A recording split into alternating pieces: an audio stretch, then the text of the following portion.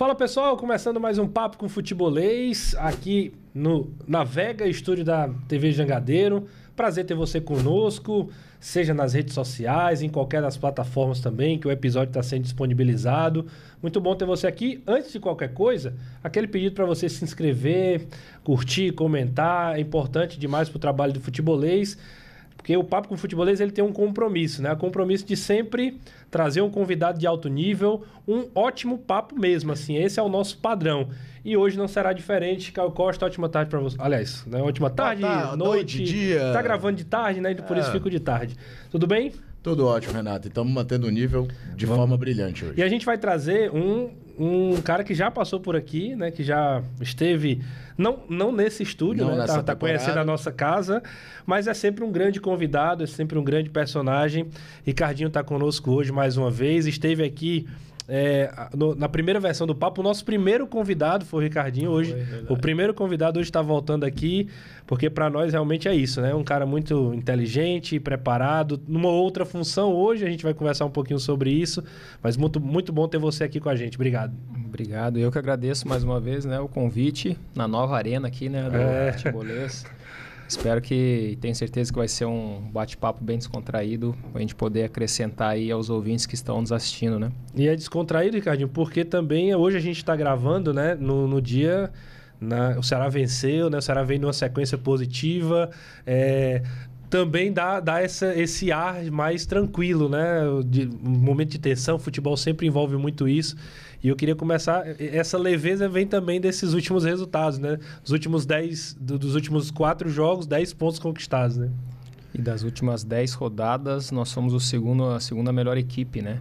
Então, temos, tendo, temos o melhor ataque, né? Estamos entre as três equipes também que mais criam oportunidade de gols.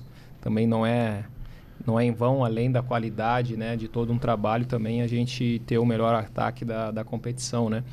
Mas, com certeza, é, quando vem as vitórias, quando vem a performance, quando vem os bons resultados, isso ajuda muito, né? não só para o ambiente interno, mas também para o externo, né?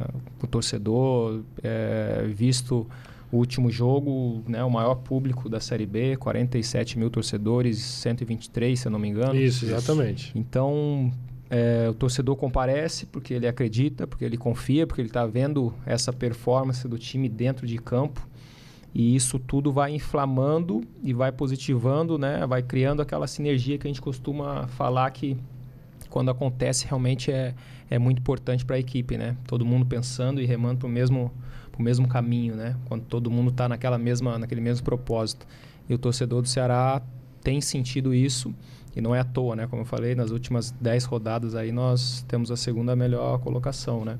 O- você viveu algo parecido assim no sentido de essa luta pelo acesso, o desejo de voltar à Série A do Campeonato Brasileiro, algumas vezes com o Ceará e em 2017, que tinha sido a última vez que, que o Ceará tinha jogado a Série B antes desse rebaixamento, você fez parte de forma decisiva, inclusive, daquele ano. E hoje você está do lado de fora. Hoje você está fora do campo, né? Trabalhando pra caramba, eu tenho certeza disso. Mas é, qual a tua percepção, fazendo um comparativo ali com 2017, o que é que dá para identificar? Rapaz, a gente está tá caminhando dessa forma aqui, como a gente fez lá em 2017, que pode, pode dar um- uma boa esperança para essa temporada. O, o exemplo daquele ano, né, daquele grupo, um, um time que tinha, um grupo que tinha suas particularidades, os seus diferenciais, é, mas um, um grupo muito unido, muito bacana, assim, é, se dava bem, o dia a dia, o ambiente era bom, era positivo. Isso hoje também, desde o início do ano, reflete muito isso, né? Um grupo forte, um grupo é, homogêneo, um, grupo que tem as suas diferenças ali, mas que todo dia é um treinamento muito intenso, todo dia eles se entregam o melhor deles e estamos, estamos crescendo no momento certo da competição, a, a, que também aconteceu em 2017, né? Que é o momento de reta final, é um momento onde realmente aquele que está numa crescente é, vai chegar muito mais confiante, né? Para terminar esse segundo turno e, e eu vejo que o nosso time está crescendo no momento certo. É o que eu tenho procurado falar realmente para os atletas, é, tenho comentado lá internamente. não vamos focar, não vamos olhar o G4, estar no G4. Isso lá atrás, quando a gente estava em 13 terceiro, porque tá, tá uma distância grande até o G4 e às vezes isso pode parecer muito distante realmente ou não tão palpável para os atletas ou para nós estarmos no G4. Mas vamos focar no jogo a jogo. Quem é o próximo adversário aqui? Ah, é o, é o Havaí? Pô, vamos ser melhores que o Havaí? Próximo, vamos ser melhores que esse adversário? E isso está muito mais perto da gente celebrar uma vitória, né? E aí agora é a mesma coisa. Eu não, eu não, não me preocupo tanto em estar no G4 agora. A convicção que a gente tem que ter é na nossa performance. Nós estamos performando para isso. Nós estamos nessa concentração, nessa busca para chegar. Todo mundo sabe que a gente quer subir. Agora, talvez tu tirar essa questão da, de, uma pressão maior que tem que estar tá no G4, no momento que nós entrarmos, nós vamos entrar pisando firmes, se Deus quiser, para poder não sair mais e conquistar o objetivo, né? Então, eu creio que é continuar nessa, nesse sentimento de vivenciar o jogo a jogo, né?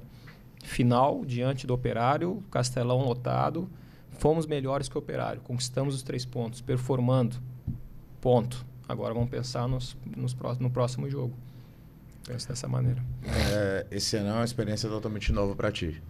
Né? Você abandonou a carreira de jogador do Floresta, volta para o Ceará numa nova função. É, eu queria te perguntar, Ricardo, era mais a, a, como é que está a mistura de sentimentos com isso? Como é que foi, por exemplo, ser campeão pelo Ceará pela primeira vez sem ser atleta? Como é que foi, como é que está sendo essa experiência no, no, nos altos, os baixos? O que é que mais está te mexendo no sentido emocional mesmo? Profissionalmente a gente vai entrando uhum. com mais detalhes na tua função, mas estou falando no sentido de coração, que você viveu tanto esse clube dentro de campo e agora está vivendo fora e é uma temporada já à flor da pele. Será uhum. ganhou um campeonato estadual do jeito que foi, decisão por pênaltis e tudo. E agora uma campanha de Série B de reação com o estádio lotado. A gente estava. Acabamos de fazer a matéria, né? O Ceará tem oito dos dez melhores públicos da Série Isso. B. A média de público do Ceará ela é quase 10 mil superior à do Curitiba, que é do segundo colocado de média. Ou seja, uhum. é. Tem médias maiores do que times da Série A, bem maiores, disparado, disparado também. também. Mas como é que é a emoção nesse aspecto? A vontade de querer estar em campo? Não, não tem mais essa vontade. O que é que tem mexido o coração? Como é que foi assistido de fora totalmente os pênaltis, por exemplo, da final do estadual? A maior parte dos momentos eu eu tenho vivenciado com muita paz, assim, tranquilidade, né? No sentido de não querer estar tá dentro de campo. Mas eu acho que foi no primeiro clássico, acho que no primeiro clássico do ano, acho que eu vivenciei um, um mix de emoção ali. É a coisa de querer vivenciar o jogo, de estar dentro de campo. Afinal, foram, se eu não me engano, foram 25 clássicos disputados. É, um mix pela atmosfera, que é um clássico, né? Casa cheia, torcida fazendo a festa. Por ter vivenciado aquilo, por estar hoje fora e ainda numa outra função. Então, tudo isso acho que foi um, um mix ali realmente de emoção que eu fiquei um pouco mais pilhado ali. Normalmente eu mantenho muito uh, centrado e concentrado assim fora de campo quando eu jogava dentro de campo, nesses jogos, era, era pilhado nesse jeito de, de querer caçar uma confusãozinha para se manter ainda mais ligado no jogo, né? E fora hoje eu, eu, eu mantenho bem assim a, as emoções, mas esse primeiro clássico, se eu não estiver enganado, é, foi realmente um mix dessas emoções. Foi logo de... aquele 3x3? 3x3. Foi. Foi logo pra ser assim, pra é... começar um jogo habitual, o placar que não acontecia desde 2001. Aquele, aquele dia ali eu acho que ficou impossível alguém não ficar pilhado, pilhado né? Era, não dá. Tá louco. E depois, pô, na, nas finais, né, tu vivenciar, na, tava, fiquei atrás do banco de reserva ali, né, é, olhando os pênaltis e não faz, e faz, e, e o Richard pega, até realmente nós celebrarmos né, o título e por tudo que envolvia né, esse título em especial né, esse ano. Sabíamos que era importantíssimo para a nossa sequência né, na, na, competição, naquilo que viria como competição, que é o brasileiro. Então, por tudo que, que envolvia, realmente teve um, um, um sabor prazeroso e, e de necessidade também, né? Mas. É... Desse time você jogou com o Richard e com o Saulo, né? Com o Richard, com o Saulo, com o Richardson. O Richardson também é verdade. Com o Richardson, acho que é o Luiz Otávio, né? Mas o Luiz está tá machucado. Isso. E eu tinha jogado com outros, né? Com, com o PV que estava aqui no Botafogo. Tinha né? jogado no Botafogo com No ele, né? Botafogo, Não- não- é, não aqui, né? Então, eu tenho controlado bem é, essa emoção, a não ser nesses jogos aí agora, domingo novamente, jogo passado contra o Mirassol, quando cria essa atmosfera, realmente é algo que, é, que dá vontade, assim, de estar dentro de campo, né? De vivenciar realmente aquela emoção, mas é, tenho lidado bem com essas transições no sentido de, de ter paz realmente, de entender o que que cabe a mim ou não, o que está nas minhas mãos ou não, para tu não sofrer antecipadamente ou sofrer com uma certa ansiedade, porque não depende de ti, né? O que está no nosso controle ali é o dia a dia, né? Vocês aqui não têm o controle da aceitação do público, né? Claro. Mas vocês têm um controle aqui interno de fazer acontecer, de trabalhar com excelência, de ter o prazer de entregar uma melhor informação, né, pro para quem acompanha vocês. Então isso está na mão de vocês. É a mesma coisa nossa dentro do futebol, né? Quanto antes a gente começar a perceber isso, eu creio que a gente consegue controlar e ter um pouco mais de inteligência emocional nesse sentido, né? O Ricardinho, é só fa- fazer um registro aqui, são 25 jogos, 11 vitórias, 7 empates em 7 derrotas, esses os números em clássicos, 8 assistências e 2 gols, os números de Ricardinho em Clássicos Rei. É, meu amigo, é- são números Retrospecto bons, é mais vitórias, bo- bom número de assistências. Você lembra dos gols?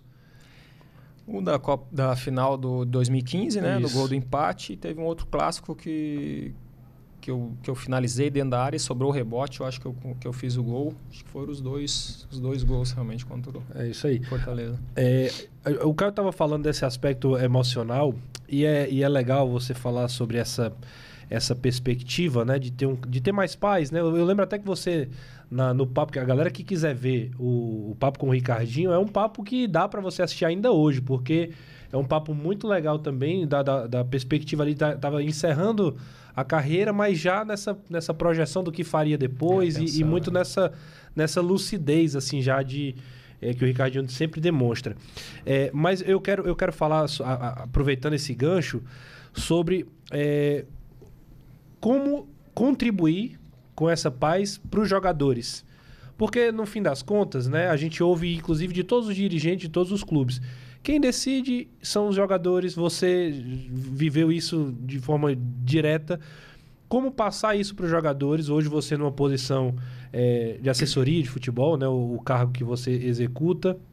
É, como tem sido esse teu trabalho, né? Fala um pouquinho também desse é, do dia a dia do Ricardinho, como é esse contato com os jogadores, como é essa relação, porque é, é, é um, é um detalhe que pode fazer diferença, né? Essa é, transmitir isso para os jogadores, para que os jogadores tenham essa tranquilidade, essa paz para poder lidar com todos os percalços, com as vitórias, nem deixar ir muito para cima, nem deixar muito para baixo.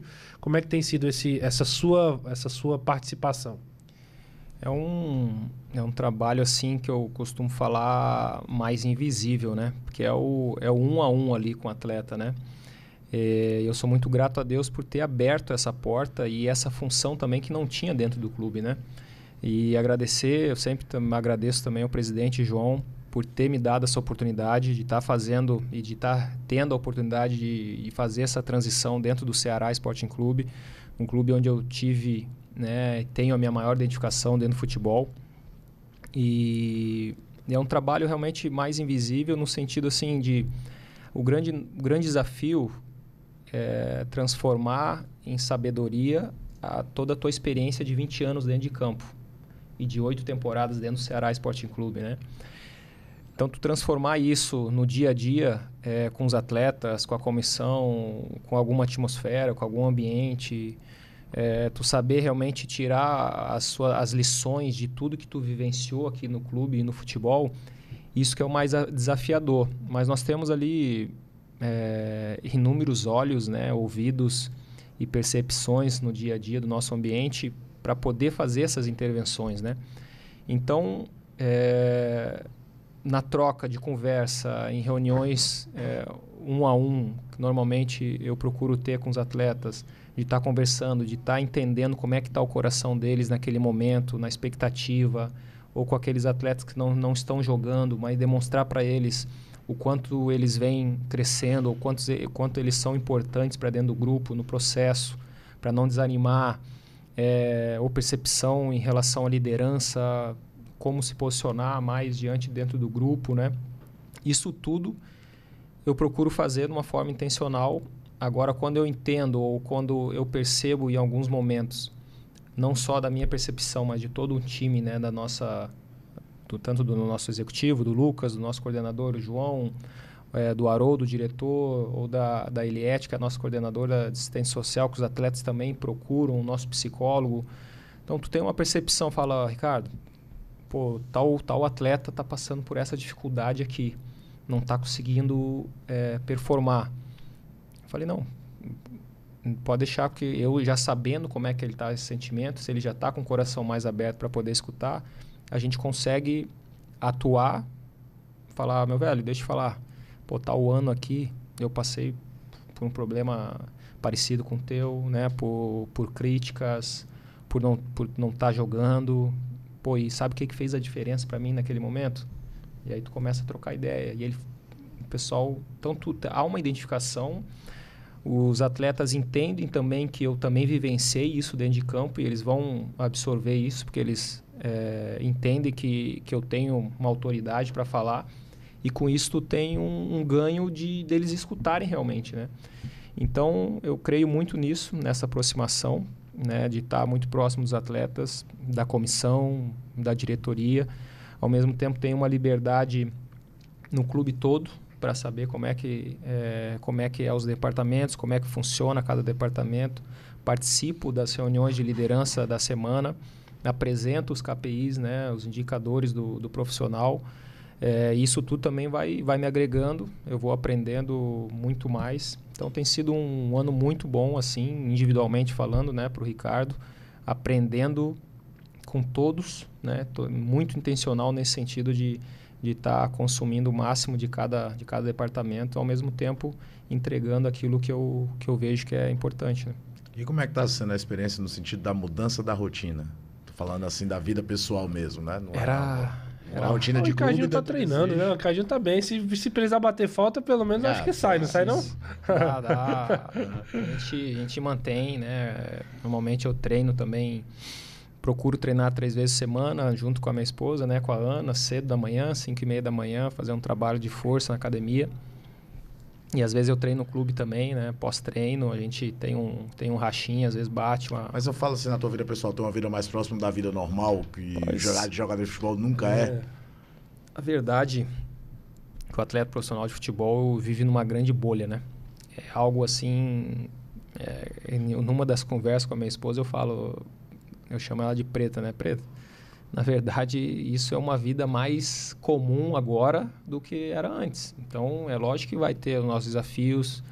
Era muito mais fácil ser atleta do que hoje, né? Tá todo mundo meio que cuidando ali, lhe protegendo, lhe blindando Exato. das coisas, né? Tu tem, tu tem, tu tem a programação, tu sabe que, pô, a, a programação do clube, tu vai treinar à tarde, pô, tu vai almoçar em casa, tu vai tomar café em casa, tu vai almoçar em casa, tu vai sair depois do almoço, vai chegar, vai fazer o teu pré-treino, vai se cuidar, vai tem tudo lá o lanche pronto, né? Os pré-treinos, vai para o campo, treinou, fez algo mais ali depois do, do treino, vai para casa.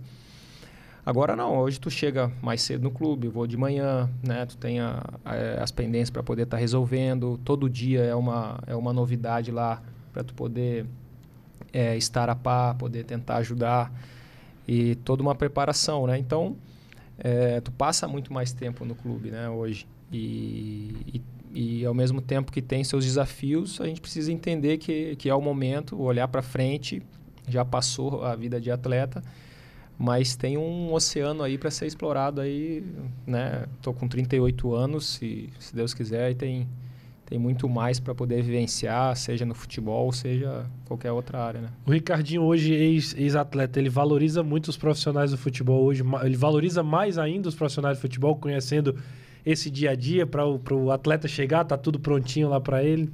Total, total. É cada, cada detalhe, né, de, de cada departamento médico, fisiologia, coordenação, execução, supervisão, nutrição, tudo, tudo é voltado para a performance do atleta.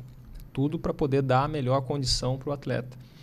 Hoje, se eu fosse iniciar, se eu tivesse iniciando ou pudesse falar para o Ricardinho lá atrás, eu ia falar, Ricardo, consome e aproveita muito mais o dia a dia do clube naquilo que pode te ajudar a performar dentro de campo.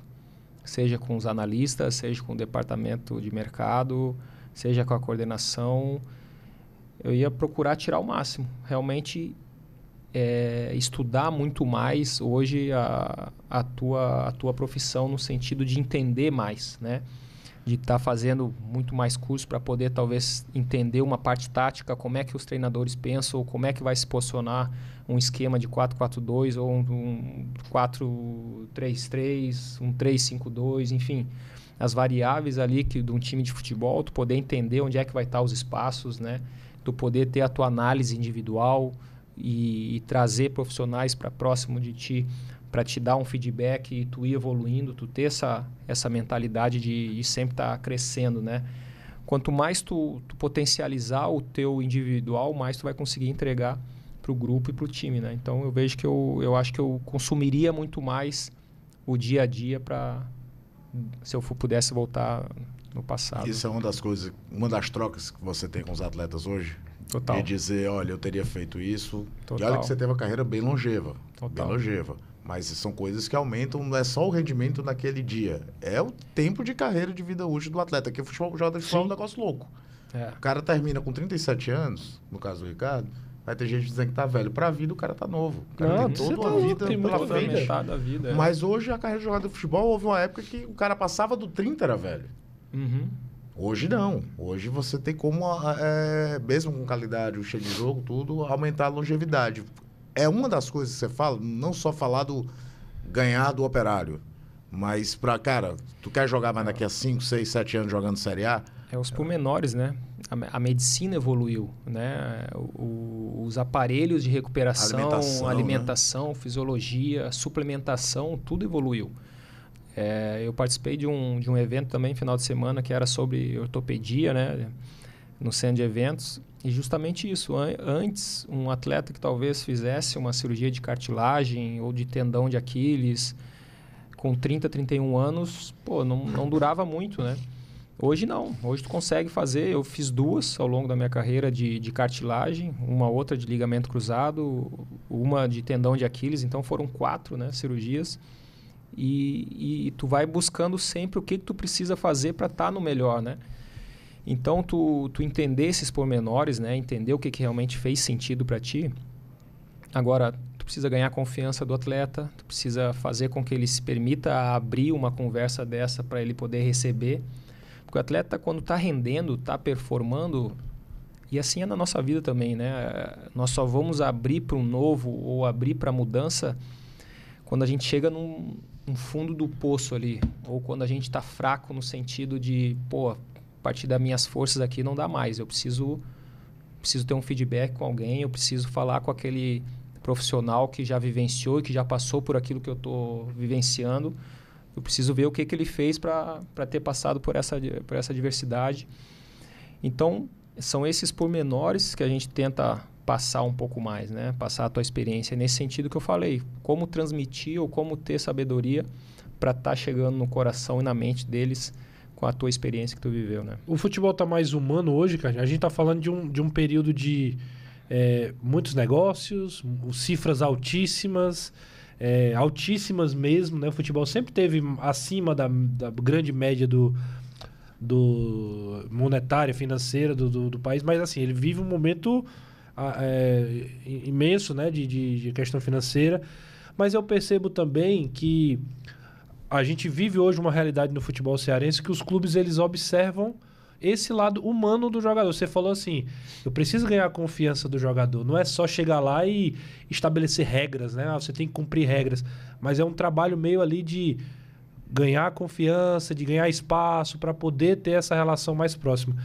Como é que você considera hoje, tendo vivido como atleta hoje desse, desse lado, o futebol mais humano nesse aspecto?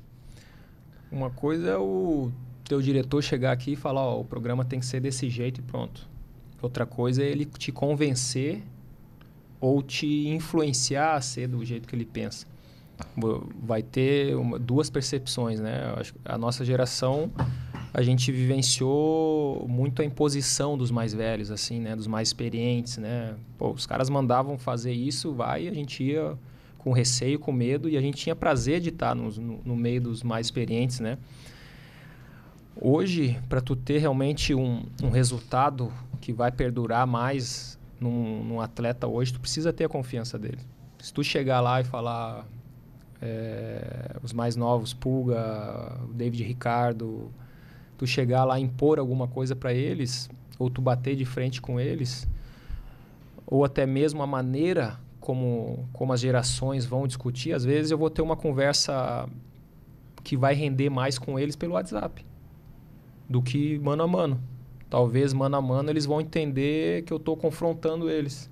Talvez no WhatsApp eles consigam compartilhar um pouco mais do que eles pensam. E aí tu começa a ter uma, uma troca melhor, entendeu?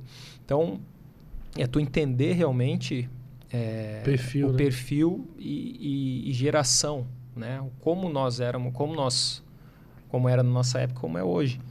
E para isso nós, nós temos, por exemplo, a Eliette, que é a nossa coordenadora, né? Ela faz esse trabalho muito bem feito também, de entender o perfil de cada um, a cadeia de relacionamento do nosso grupo, né? Das famílias.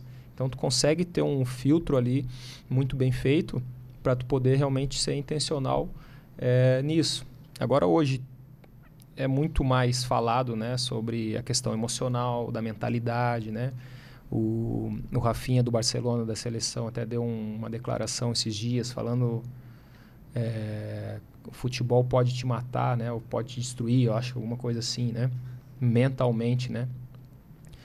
E aí eu coloquei isso, debati em alguns grupos de ex-atletas né, que a gente tem. Eu falei: o futebol realmente talvez pode te destruir, mas se tu não sabe lidar com as tuas emoções, o futebol em si não te destrói. Agora, a maneira como tu vai encarar ou a maneira como tu vai lidar com cada emoção que tu tem de pressão, é, seja de imprensa, seja de torcedor, seja a tua própria pressão interna de não estar tá bem, é a maneira como tu se auto-lidera, como tu lida com as tuas emoções. Isso sim está no, tá no nosso poder, né?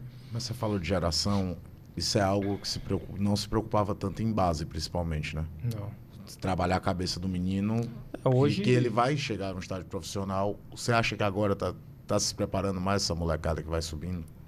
Ou ainda está muito. Ainda... Porque cada vez mais o jogador, ele é. Acho que você vai concordar comigo, é quase uma produção em fábrica. Uhum. O clube nem isso vale para o Ceará, para o Fortaleza e para os grandes clubes de Rio e São Paulo. Os jogadores às vezes nem são mais feitos para jogarem no clube, porque antigamente tinha aquela coisa do eu vou ter um jogador, esse jogador vai jogar no meu time, vai ser campeão do meu time, daqui a 3, 4 anos eu vendo para a Europa e ganho uhum. dinheiro. Hoje, cada vez mais, a ideia é 18 anos, se já tiver legal, vende. Falta nessa ideia. Tem a humanização, a gente, no, no, profissional, tem até legal o Lucas Drups, que esteve aqui falando. até falar um pouquinho sobre que foi isso. criado um departamento, que o Ceará hoje tem um acompanhamento de assistência social, de tudo, que é isso. é muito bacana, que é algo que é necessário. Mas pegando, você falou de geração, me peguei pensando nisso. Você está trabalhando num grupo que tem muito jogador, a maioria do jogador do Ceará não tem um, é um time tão jovem assim. Mas tem talvez destaques individuais mais jovens. E você nota que, que, não foi feito esse trabalho na, na, na base deles. Eu não estou falando nem na base do Ceará, não. Estou falando uhum. lá de trás. Até que o menino, quando chega no Ceará com 17, ele começou a chutar bola lá aos 10 em algum lugar do país. Não, não é aquela coisa, não é tão simples, não é tão, como é que eu posso dizer, orgânico. É, você acha que precisa se trabalhar mais isso na cabeça dessa molecada, dessa nova geração? É que hoje eu penso que essa geração, a, no, a nova geração, ela tem muito mais informações do que a gente tinha. Então, é... Eu falo porque o David Ricardo deu uma entrevista recentemente falando que ele teve um problema pessoal também, que mexeu uhum. na cabeça e é o dia a dia, tem tudo isso, tem uma vida por trás. Né? Exato, então é isso que eu estava falando, como é que a gente vai lidar com essas emoções, né? Então hoje em dia tem muito mais informação para eles. E aí talvez é, eles achem que saibam mais sobre mais, só que ao mesmo tempo não vivenciaram tanto, né? Mais, terem mais autoridade. Antigamente, não. Antigamente a gente, é, pô, a gente era xingado, era, era cobrado, era uma imposição mais, mais forte dentro de campo, dos treinadores. Se fosse hoje, talvez ia ser um assédio moral, né? E, e, então, tu começa talvez a ser ficar muito mais frágil nesse sentido por achar que sabe um pouco mais porque tem mais informação, mas ao mesmo tempo não vivenciou ainda aquelas experiências. E só vai passar realmente a ter uma, uma experiência é, e aprender com aquilo se realmente tu passar por aquilo. Então, a gente precisa sim, eu acho, ser mais intencional com a base nesse sentido, de estar tá trazendo é, mais informações, mais é, mais concretas ou mais vividas ou poder realmente não sei se dificultar um pouco mais a vida desses meninos na base, mas pensando lá na frente, pensando quando eles chegarem no profissional. Tá mais humanizado, né? Como tu comentou, Renato, assim, tá tá mais humanizado, mas ainda o futebol é resultado, o futebol é números, tu precisa performar. Tu é considerado aí um produto, né? Agora, quem conseguir chegar com mais profundidade em cada atleta, eu acho que tu consegue fazer muito mais sentido para eles, para eles percorrerem uma carreira, é, traçarem uma carreira melhor. Ou né? seja, precisa cuidar, mas assim, precisa entender também que existe cobrança, que tem, que tem pressão, que vai ter que vai ter exigência, que não é uma coisa assim, ah, é, é aquela coisa como a gente diz no Ceará, muito amufinado, né? Você vai ficar, não, você tem que estar tá preparado para os desafios. Eu, eu, imagino que seja mais ou menos por aí. É, eu queria falar do, do, time, do elenco do Ceará, né? Porque a gente falou do seu papel, da sua influência, do seu trabalho. É, como, é, como é que tem sido assim é, essa, esse trabalho do Léo Condé? É, como é que tem sido o Léo desde que chegou? Porque é, um cara que tem esse perfil, né? Pelas conversas que a gente pôde ter, de ouvir o Léo, das pessoas falarem sobre ele, as coletivas que a gente acompanha o trabalho dele. Ele aparenta ser um cara muito, muito brando, muito pacífico, muito é, é, coerente né? Com, com as escolhas, com as palavras. Como é que tem sido o elenco com o Léo? E, e, e, se você também tem essa abertura com a comissão técnica, como é que tem sido esse trabalho? A gente falou do, de você com os jogadores e de você com a comissão técnica. Como é que foi trabalhar com o Mancini, agora com o Léo, enfim. Pô, o Mancini também sempre me deu a liberdade de estar tá vivenciando ali o, o vestiário, estar tá próximo dele, né?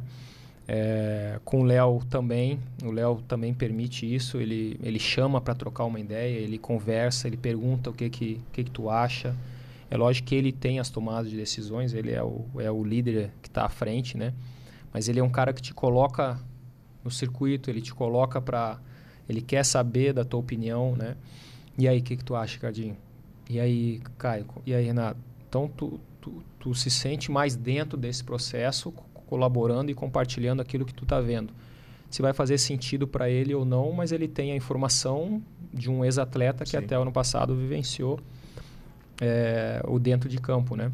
Um cara muito simples, um cara é, muito pacífico, como tu falou, um cara que não precisa impor uma voz para demonstrar a tua liderança, é um treinador muito claro com aquilo que ele quer, né? Trabalho é, muito muito reto, muito direcionado, uma comunicação muito clara, onde coloca todo mundo na mesma página, onde todo mundo se faz entender aquilo que ele deseja tu vê que o nosso time é um time organizado, tu vê que nós, é, cada um dentro da sua função sabe muito bem o seu papel, quem entra, quem sai. É... Então, isso tudo isso tudo facilita e o grupo to, todo mundo entende né, que quando tu, há uma mesma comunicação, uma, uma comunicação clara, não, não há dúvida. Então, quem entrar, quem sair, vai saber é, como o time joga, como que o time ataca, como é que nós vamos se defender, como é que é a bola parada, defensiva, ofensiva, enfim. E isso ele deixa muito claro durante a semana. Então ele é essa pessoa mais simples, ao mesmo tempo em situações que tem que se impor um pouco mais, porque ele é a liderança, ele ele sabe também fazer muito bem. Então não é não é à toa, né, que ele vem crescendo cada ano que passa como treinador, conquistando o atual campeão da Série B, né, pelo Vitória. E, então, tenho muita admiração já nesse curto tempo com, com o Léo também, com o Renatinho, com o Diego, que é o preparador físico, o Renatinho, que é o auxiliar. É, são pessoas incríveis, assim, muito fáceis de lidar no dia a dia. Eles usam a tua experiência como ex-atleta do Ceará, uhum. da tua ligação com a torcida. Eu falo porque. Perguntar também do Mancini, mas o Mancini foi jogador do Ceará, já tinha sido treinador. Uhum. O Léo está na primeira experiência dele no Ceará. Uhum. Então, nesse intercâmbio, vamos falar assim, nessa troca de experiências, o que foi o Ricardo como jogador do Ceará também é utilizado, inclusive, até porque você tem uma história raríssima de quem veio lá atrás, Sim. praticamente não joga. Depois volta. Anos depois volta e faz a história que fez. Então você ainda uhum. tem uma experiência de ter batido na porta, não ter entrado e depois voltar e ter feito a história que você fez no Ceará. É, o, o Mancini ele, ele respeita muito esse ex-atleta, né? Então ele sabe porque ele passou também dentro de campo e ele sabe também que os teus sentimentos e, e aquilo que tu vivenciou conta muito, né? Então ele me deu muita liberdade também nesse sentido. É, e mesma coisa o, o Condé. É, ele, ele entende também essa percepção né, de ter vivenciado e principalmente da história que tem aqui dentro do Ceará, tu poder contribuir. Então ele chega às vezes para tomar um café, tá na mesa, ele, pô, senta aqui, Ricardo, pá. E aí, o que que tu acha do do da Chapecoense, que é o próximo adversário nosso, né? O que tu viu? Tu viu o jogo ontem? Pô, tu viu como é que eles e aí a gente vai trocando ideia, a gente conversa de bola parada, eu, eu, eu mando algumas jogadas assim, a gente conversa muito sobre jogada de bola parada, que é o que eu vivenciava também, fazia muito. Então ele troca ideia e te coloca, como eu falei, te coloca no, no circuito, te coloca para ouvir a tua opinião, né? E isso também vai te fazendo se sentir mais, cada vez mais dentro do processo. Então, é, os dois, cada um com a sua percepção, né? O Mancini também deu muita liberdade, mas o Condé também te dá essa abertura para tu poder compartilhar a tua experiência, né? E nessa nesse contato com os treinadores pela primeira vez como ex-atleta, fica mais claro para ti que a tua vivência no futebol agora vai ser do lado de fora, mas nesse momento de gestão ou bate alguma chance de vir o um mosquitinho de querer ser treinador?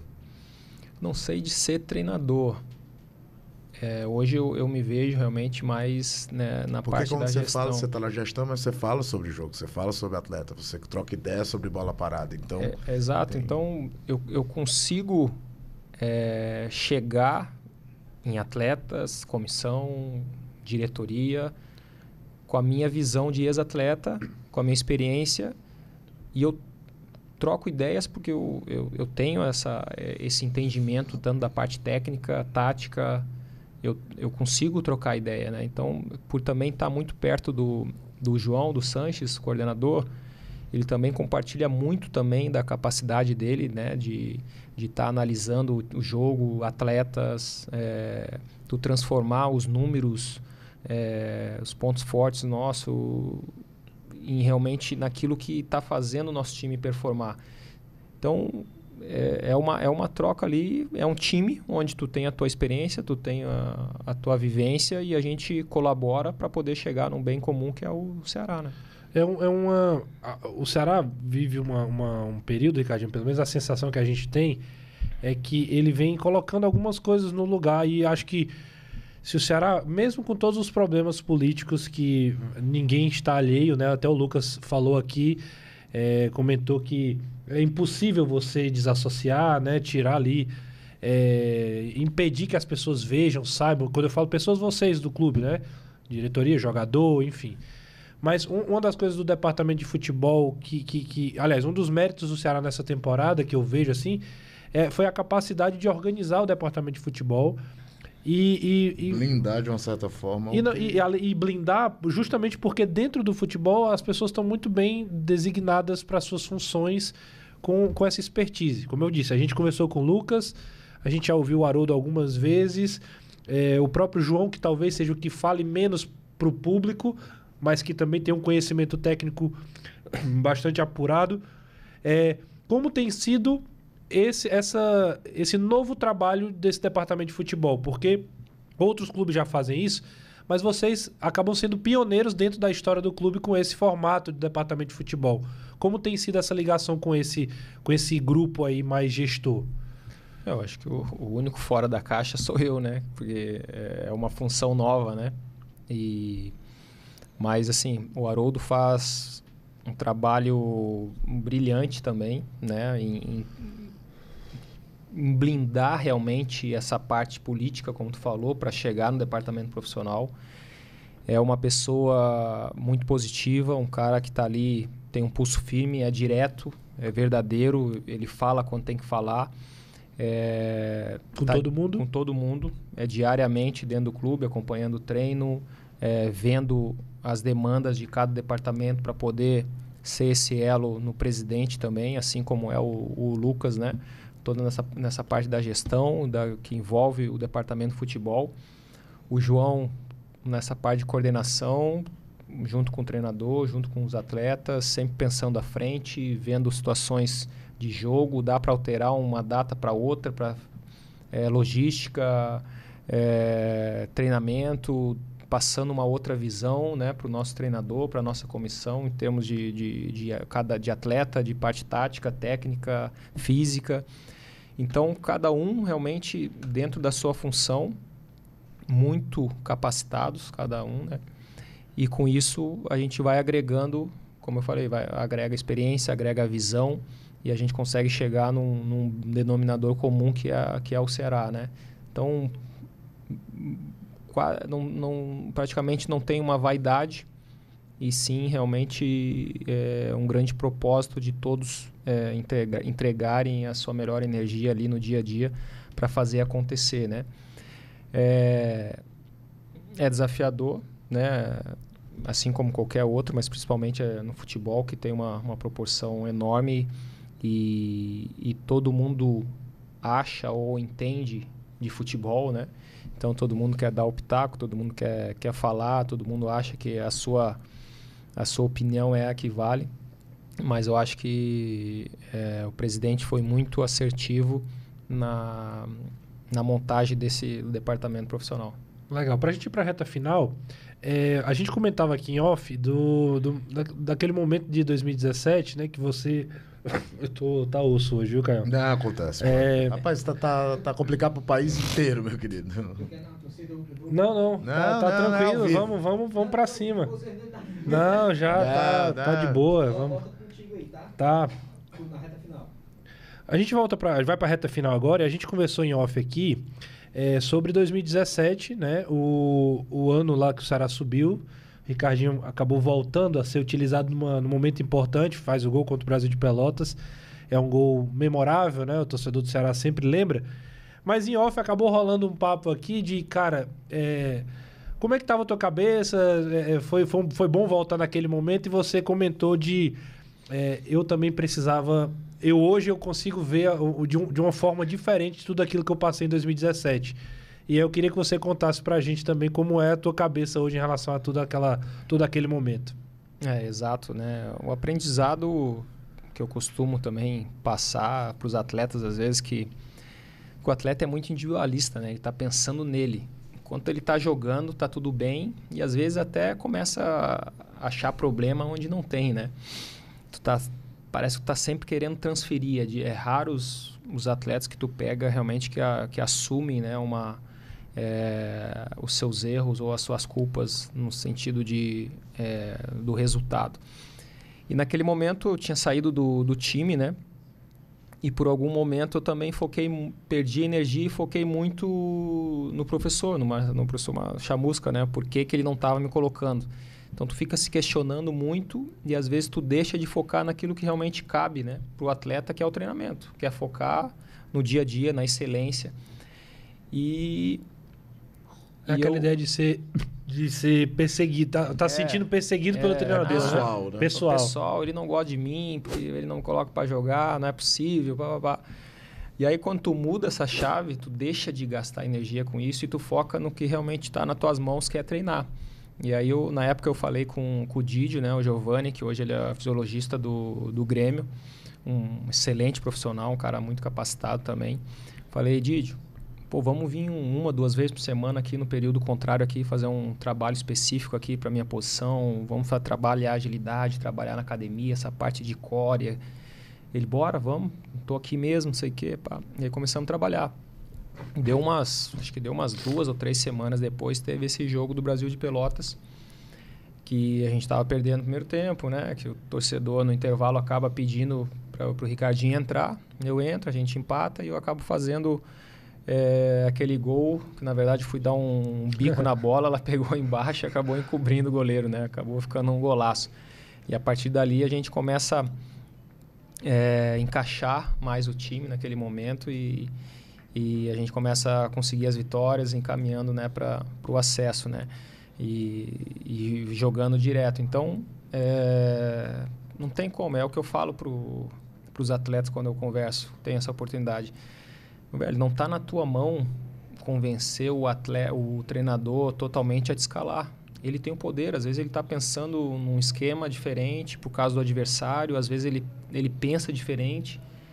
Se tu for querer entender a cabeça do treinador, é melhor não perder esse tempo, né? Então agora, o que está na tua mão? Pô, tu está dormindo bem? Tu está alimentando bem? Tu está suplementando bem? Tu está dando o teu melhor? Ou tu está fazendo, né? Então isso está na tua mão. Então esquece, esquece treinador, esquece porque que ele não está te colocando. É, tenha mais alegria no dia a dia, nesse processo, né? Seja feliz, porque isso aqui vai passar rápido. Daqui a pouco tu vai falar, caramba, verdade, passou e hoje eu parei e pô, eu poderia ter aproveitado mais. Então, vai curta, curta mais o momento, aproveite, desfruta de cada, de cada jogo, de cada treino, de cada viagem, de cada concentração desfruta porque passa rápido. Quando vê, já foi, meu velho, não dá para voltar atrás, não. Eu tenho mais uma, só para terminar.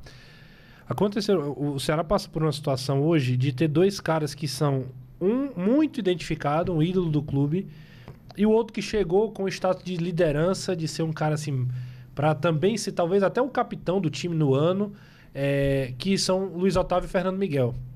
Dois caras bastante experientes, não só de idade, mas de vários anos de futebol, de conquistas, de momentos bons, ruins. E o Luiz já estava nesse processo de fazer a cirurgia, o Fernando acabou machucando. Mas são dois caras que têm voz, né? Que são muito ativos no vestiário também. E o Luiz jogou com você durante muito tempo. É, eu queria também falar um pouco sobre eles, né? Como é que tem sido você esse contato com eles? Porque são caras que não estão ajudando em campo hoje, mas é, são caras que são acima da média no, no discurso, na, na, forma de lidar. Como é que tem sido? Pô, são duas pessoas, dois seres humanos incríveis, né? O Fernando, o Luiz, é, duas lideranças, estão sempre no vestiário, estão sempre junto, né? Os dois, graças a Deus aí, o, o Luiz já deve estar tá apto, liberado para poder, quem sabe, ir para jogo agora dia 16 agora, alguns dias, faltando alguns dias. O Fernando Miguel também voltando já numa transição, está muito bem, né? Ganhando cada dia que passa, ganhando mais confiança, ganhando mais força, voltando a fazer é, os movimentos que estava acostumado a fazer. Ainda tem um tempinho ainda, né? Mas, pô, só de estar tá dentro de campo, tá colocando a chuteira, tá fazendo queda, né? Tá junto com os preparadores de goleiros ali, com o Tafarel e com o Marcão é, já dá um outro ânimo, né? Então, no início, realmente muita, assim, difícil, né? O Fernando sofreu um pouco, né? Teve um, é, um probleminha que acabou interrompendo um pouco antes ali a recuperação dele, mas um cara incrível, um cara que entendeu o processo, entendeu o momento e tem, tem feito aquilo que cabe a ele, né? Que é, que é o dia a dia, que é o tratamento, o que, que ele pode estar tá fazendo. E, pô, tá, para mim tem sido de, aprendendo muito com eles assim também, ao mesmo tempo que eu já passei por isso também e pude compartilhar com eles é, as minhas lesões, como que eu procurei passar por isso de uma melhor maneira, de uma melhor forma, e ao mesmo tempo essa resiliência deles, como é que eles lidam com, com, com a dor, como é que eles lidam com esse processo de estar tá retornando e a gente tenta estar tá trocando é, experiência nesse sentido, né? Legal. Caião, massa demais. Sempre altíssimo nível, falar com o Ricardo é sempre muito bacana, a visão de futebol diferente, desejar a ele mais sucesso ainda do que ele teve como atleta profissional, que foi um atleta para lá de bem sucedido, é todo mundo que tem uma camisa feita especial depois de jogar num clube, como o Ricardo teve esse ano, nada mais do que justo. Só uma pergunta, acho que eu te perguntei isso daquela vez, as coisas podem ter mudado. Qual foi a maior emoção? Copa do Nordeste 2015, livrar o rebaixamento 2015, acesso ou agora ser campeão do lado de fora? Maior, maior emoção, emoção mesmo de, de me emocionar, de chorar, foi no final de 2015, para livrar, livrar do, rebaixamento. do rebaixamento, porque foi mais tempo assim, né? Foi um calvário muito quatro grande. meses ali praticamente, casa, Tomando trabalho, trabalho, viagem e pancada e pressão. É a hora que veio aquele alívio realmente, pô, conseguimos, né? Então ali foi realmente uma uma emoção maior, né? Agora, os títulos, acesso, esse título desse ano também foi muito celebrado, muito comemorado. Mas é, é diferente. É diferente uma conquista jogando e uma conquista fora de campo, né? Então, cada um dentro da, da sua caixa e da sua valorização. Né? Que você possa se emocionar no final do ano, viu? Se Deus quiser. Que possa vir o acesso aí para a Série A para coroar o ano, né? Porque título é. estadual, é, via o acesso, realmente é um ano gente pode dizer um ano perfeito, né, seria, Ceará, assim, apesar da Copa do Nordeste, mas tá, não, dentro, não, tá seria, dentro do pacote, né, seria, né? Assim, seria, então seria que um dos anos mais importantes da história. Mas dizer a mesma coisa que a gente disse pro Drubsky aqui, né, que veio recentemente. É a nossa torcida. A nossa torcida é essa para que o Ceará volte à Série A do Campeonato Brasileiro. O Ceará tem tamanho de Série A hoje. Não é aquela coisa só bairrista, né? Que a gente fala só porque a gente é, quer a o nosso. A gente viveu, a gente não trabalhava na crônica, a gente viveu que foi o Ceará subir em 2009. Era. Exato. Quando em 2017 já foi um status diferente. Era muito já mais era vislumbre, né? 2009. Em e 2000... agora, se subir esse ano, é mais diferente ainda. É quase que seja bem-vindo de volta, não é? é? É bem diferente do que era. Que, que venha dessa forma, Ricardo. E obrigado por mais uma vez estar aqui com a gente. Você já sabe que em breve, né? Daqui a um ano, não sei, mas Bora. vai estar de volta com a gente aqui. Pô, eu que agradeço mais uma vez a oportunidade de conversar, trocar essa ideia com vocês, vocês muito capacitados também, com perguntas bacanas, né? E se Deus quiser, final do ano, a gente poder comemorar aí o nosso principal objetivo do ano, né? Vai ter churrasco, cara? Vai, vai, ter, vai ter que ter uma costela, né? Uma, uma picanha, é uma picanha selada, né? É isso aí. Com, com esse quase convite aqui, né? A gente volta... Isso. A gente encerra o papo futebolês, como eu disse no começo, é sempre nesse nível, mantendo o alto padrão. A gente teve aqui é, o, o, papo com o Marcelo Cabo, né? Que a gente até acabou não falando muito sobre ele, né? É, mas também um papo muito legal. muito legal. Já tivemos o Drubsky, já tivemos o Marcelo Paz. Marcelo Paz, enfim, só agora. gente assim que, que agrega muito, né? Esse é o, Erandi. Esse, o Erandi, o Ricardo, foi muito legal o papo com ele, assim. Hoje treinador, também, auxiliar, né? Do, do, do, do uhum. feminino também, bem legal. Essa, esse é o nosso quilate, né? A gente tenta manter o padrão aqui. E mais uma vez a gente agradece o Ricardinho. Na próxima semana a gente está de volta com mais um grande personagem, um grande papo com futebolês. Valeu, tchau, tchau.